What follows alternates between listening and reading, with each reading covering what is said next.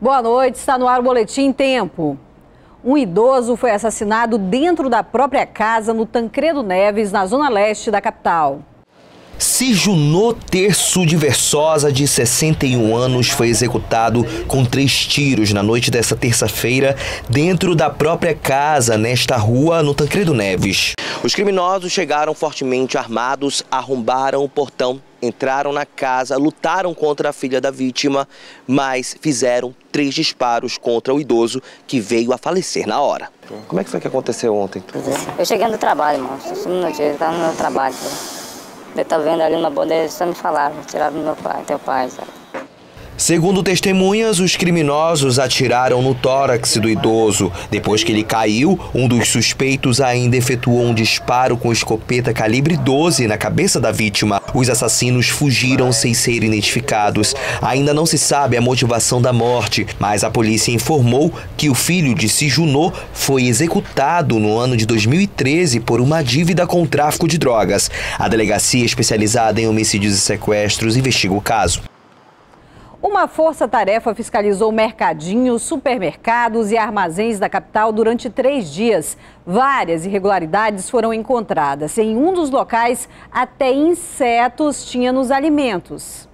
Insetos nos alimentos, legumes estragados, condições de armazenamento fora do exigido por lei, produtos fora do prazo de validade, foram muitas as irregularidades encontradas. Doze mercadinhos, supermercados e até armazéns foram fiscalizados. Um deles chegou a ser interditado e precisou pagar multa para ser liberado. O produto estragado poderia causar uma série de doenças transmitidas por alimentos, são diarreias, infecções intestinais, quadros graves. E a presença dos insetos também como veiculadores de doenças. Então, é, é principalmente as doenças transmitidas por, por alimentos. Foram 1.200 quilos de produtos apreendidos, de 234 tipos, até brinquedos. Encontramos brinquedo fora das normas de segurança do Inmetro, com risco potencial, inclusive com material tóxico na pintura. Tóxico na pintura.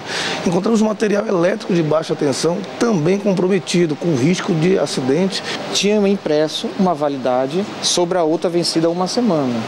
Então foi constatado, foi apreendido e inutilizado esse, esse, é, esses, esses produtos e com certeza eles vão responder de forma criminal, porque houve dolo, né? Aí ele teve a intenção realmente de enganar o consumidor e risco à saúde do consumidor. Pelo menos oito órgãos que trabalham na defesa dos direitos do consumidor participaram da Força Tarefa. Eles divulgaram os dados hoje no Ministério Público do Estado. A ideia do Ministério Público é tornar as fiscalizações mais frequentes e formalizar a Força Tarefa por meio de um convênio. Como alguns trabalhadores foram flagrados em situação de risco, o Ministério Público do Trabalho e Emprego também vai ser convidado a participar. Nesse caso aí, e parece que o Ministério Público do Trabalho pode ter uma atuação, então a partir dessa constatação, nós estaremos encaminhando para eles e convidando-os também para as próximas fiscalizações que nós pretendemos fazer juntamente com os órgãos. Em um dos supermercados, a carne que seria consumida pelos funcionários pode estar estragada. Amostras são analisadas em laboratório. A Delegacia do Consumidor acompanhou as fiscalizações. Que nós vamos ser bastante severos sobre essas questões, porque o que nós encontramos é uma questão muito grave para o, o consumo, né? do nossa população. As ações devem continuar em todas as zonas da capital. Um navio cargueiro que viria para Manaus bateu em um empurrador que saiu de Porto Velho. O acidente aconteceu no rio Amazonas, perto de Óbidos, no oeste do Pará. Duas pessoas foram resgatadas com vida e outras nove estão desaparecidas. A Capitania Fluvial de Santarém faz buscas no local. Vamos falar agora de eleições. Em Parintins, os últimos ajustes são, são feitos para o pleito de domingo. O município tem um dos maiores colégios eleitorais do estado. Tudo tem que estar pronto para a eleição que começa às 8 horas da manhã do próximo domingo, 6 de agosto. As urnas já foram testadas e amanhã começam a receber a carga de dados para que o eleitor possa votar. Também nesta quinta-feira, os mesários dão início ao trabalho nas sessões que funcionam tanto na cidade quanto na zona rural. Agora há pouco terminou uma reunião entre o chefe do cartório eleitoral, Antônio Mariano, e o comandante da Polícia Militar Local, Major Murrilas. O juiz da quarta zona eleitoral, Fábio Olinto de Souza, está apreensivo com a possibilidade de aumentar o número de abstenção. É verdade que é possível que com isso haja uma abstenção grande. Nas últimas eleições, a abstenção em Parintins tem sido em média de 20, 25%. Ao contrário dos anos anteriores, a quarta zona eleitoral, nesta eleição, não vai contar com militares do Exército. A segurança será feita pela Polícia Militar, que vai receber reforço de Manaus, e por homens da Polícia Federal, que já estão aqui em Parintins, sob o comando do delegado Serra Azul. A Polícia Federal não tem o, o condão de atrapalhar as eleições, é auxiliar nas eleições. Nós vamos inibir flagrantes, vamos prestar o, o serviço de polícia judiciária eleitoral. Nós estamos aqui para dar maior garantia ao Estado, a, a liberdade da, das, das eleições. Parintins é um dos maiores colégios eleitorais do estado do Amazonas. Tem 64 mil eleitores. Conseguir emprego não está fácil com a crise, mas quem tem curso superior tem levado vantagem em algumas áreas. É o que mostram os dados do Cadastro Geral de Empregados e Desempregados do país. A Stephanie conseguiu esse emprego em uma assessoria de comunicação logo depois de se formar no fim de 2016. Eu comecei com curso técnico, né, em rádio e TV, consegui bolsa em faculdade, né, na faculdade de jornalismo. É, primeiro, segundo período já comecei alguns estágios assim aleatórios, mas fiquei muito tempo nesses estágios, né?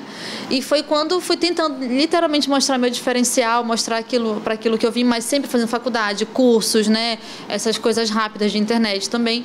E foi quando apareceu a oportunidade. A rapidez em conseguir trabalho veio depois de vários cursos específicos na área. Sempre está se especializando porque livros se atualizam, pessoas novas aparecem no mercado com novas teorias, com novas coisas. Então isso é muito importante. Estar tá sempre fazendo um cursinho rápido, seja uma graduação nova, uma especialização nova. Isso é muito importante porque agrega para gente. Conhecimento, aquele ditado, nunca é demais. Então qualquer curso rápido, curso online, curso de duas semanas, de um mês, de um dia, tudo é muito válido para agregar profissionalmente. É cada vez mais comum as empresas pedirem, além da graduação, algum tipo de especialização. E isso acontece por conta das novas tecnologias, que exigem cada vez mais dos profissionais.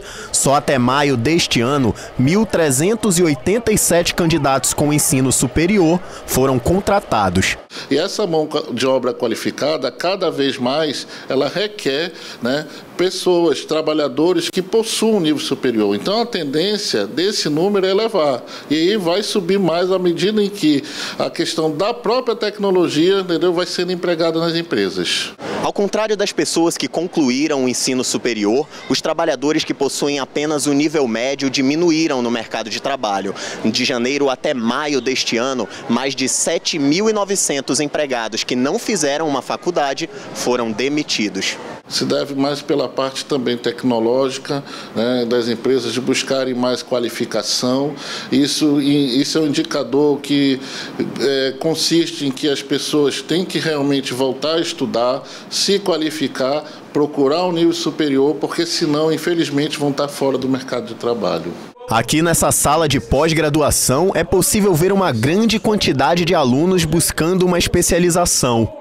Esse aumento dessa procura se deve à recessão que o mercado está tendo. Ou seja, as empresas estão se reinventando. Essa reinvenção é a busca de novos projetos de melhoria contínua. As, as empresas agora estão buscando cada vez mais inovar para reduzir seus custos industriais, custos operacionais. É o caso do Anderson. Ele já trabalha na área em que se formou há oito meses, mas veio até aqui em busca de novos conhecimentos para se manter no mercado de trabalho. É, as empresas elas estão se reinventando a cada dia mais e a gente tem visto que cada empresa se depara com um problema de gestão, um problema é, é, de gerenciamento, que ela procura profissional qualificado na área para poder resolver os problemas internos. Então a gente procura é, uma especialização nessa área para atender o mercado e estar inserido dentro do mercado. Eu sou Marcela Rosa e esse foi o Boletim Tempo.